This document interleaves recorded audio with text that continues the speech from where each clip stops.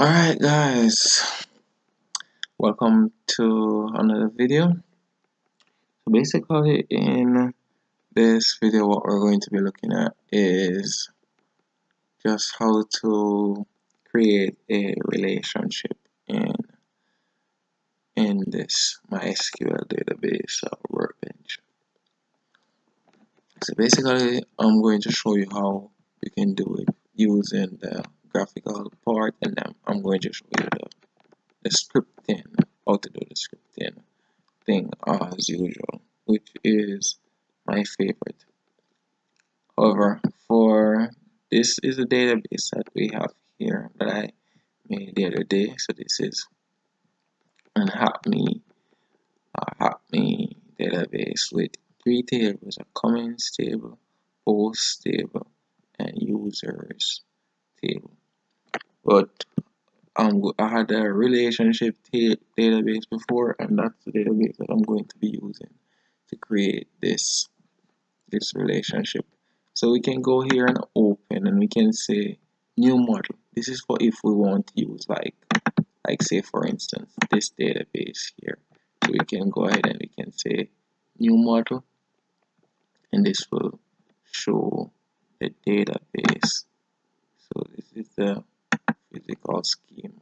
I think we probably could we can add new databases from here but I'm not going to do that. So yeah that's basically what we can do. We can double click here to add the ER diagram. If we had the tables if we had the tables we could just drag them here and whatever.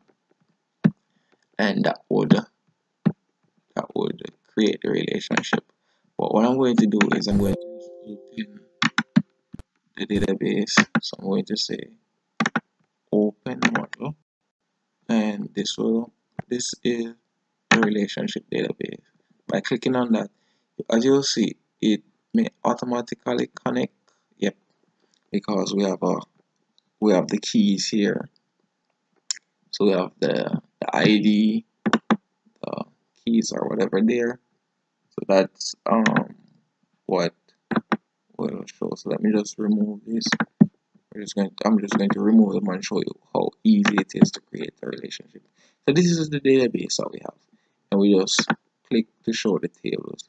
All we need to do is just to drag and drop. Drag and drop. And this will create the relationship that we need. We can change the relationships here these are some other features that we can use to to um, go ahead to make a, a great um, database um, thing here diagram database diagram. We also have these so we can create like custom these are custom user um, thing custom timestamp and custom categories. So you can just add like like maybe we could add a some sort of um, ID in here primary key and it will automatically link these. These don't really have anything in them. I think if I click here you can see. Don't really have any data in these. But uh, I think you got the point that I was trying to you that's how simple it is to actually create this table right here. Let me go ahead and clear these off and I'm going to show you how to create this thing using the this database here and the scripting language.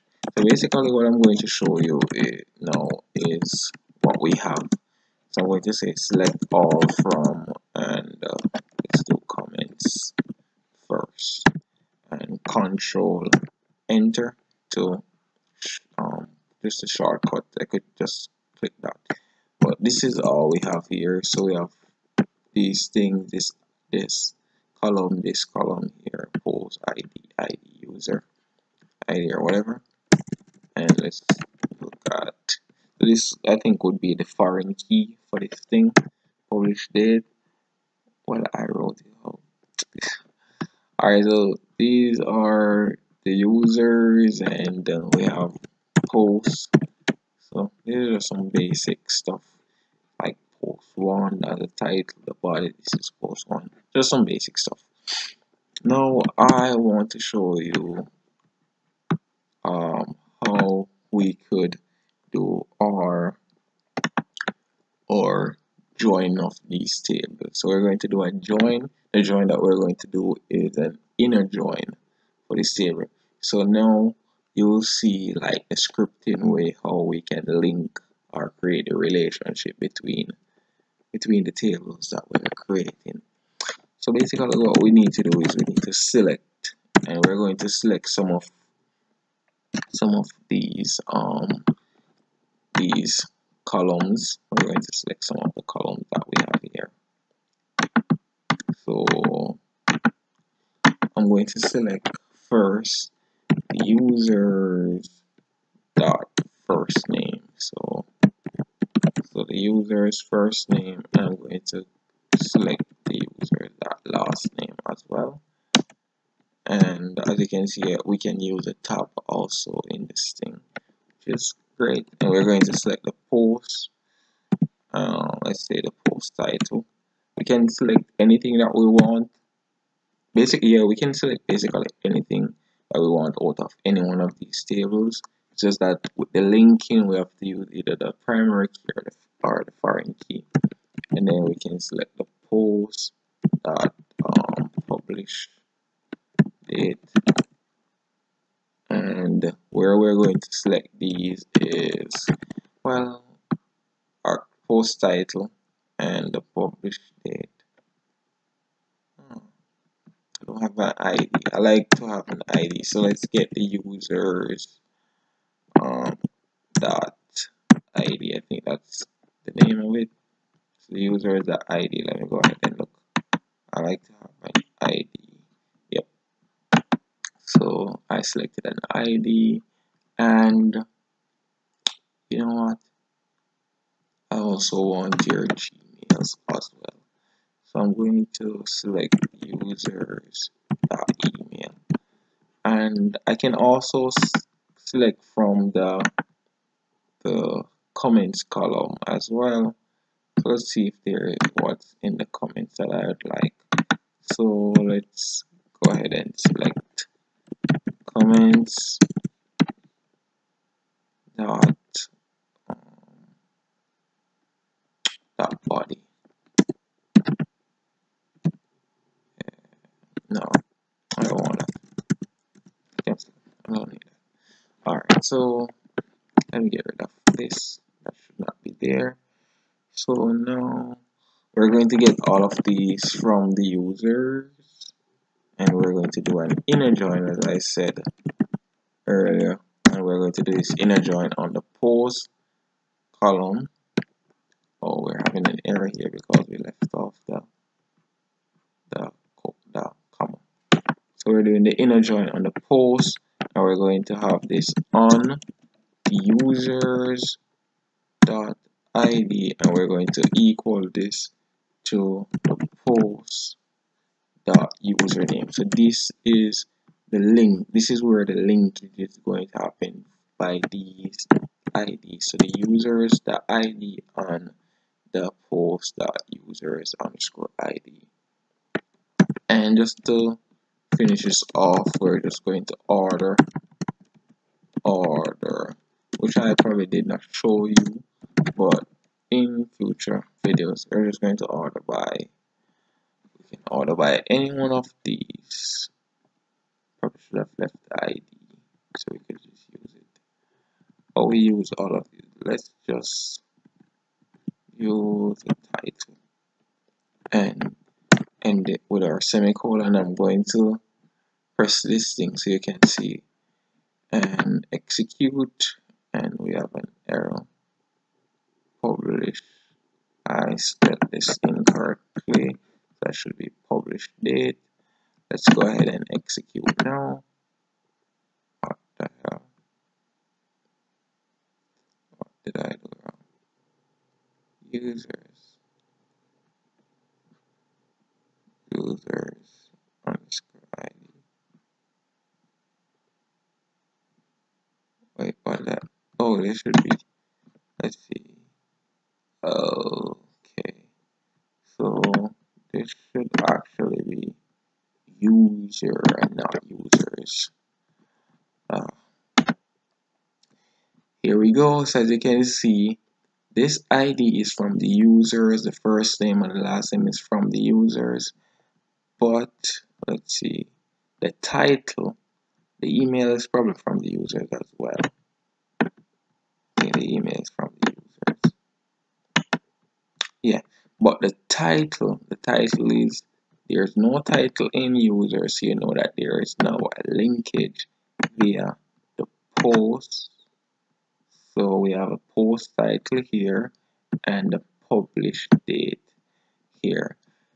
Yeah so this is basically how you create despite the little few errors but this is basically how you can do a table. Let me just run it again so you can see the graphical you know graph not really graphical but just uh, how it looks. And as you can see we order by the title or whatever. So yeah this is basically how you do this thing. And there is one more thing this video is sponsored by by this company which is Fedora services. So let me do a Bing search. And this is moving a little bit slow but this is this is it here. Say it's an online shopping website for local businesses basically in Jamaica. I this is my coupon code slash fresh items 37 so I'm just going to select all and copy that. This is my coupon code. What I'm going to do is I'm going to add a product to the cart any product here. Because they sell um basically a lot of things for different companies. So I add that thing to the cart.